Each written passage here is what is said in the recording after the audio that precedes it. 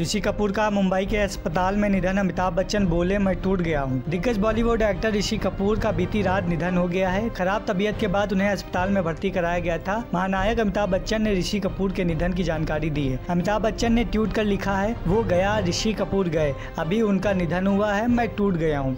Kapoor family से रणधीर कपूर ने ऋषि के निधन की खबर को कन्फर्म किया था।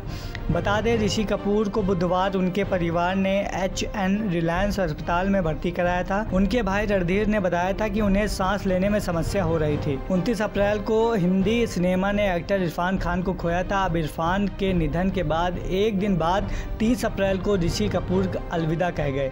बैक टू बैक दो दिग्गज अभिनेताओं को गवा देना फ़िल्म इंडस्ट्री के लिए बहुत बड़ा झटका है। ऋषि कपूर के निधन से देश को शोक की लहर दौड़ पड़ी है।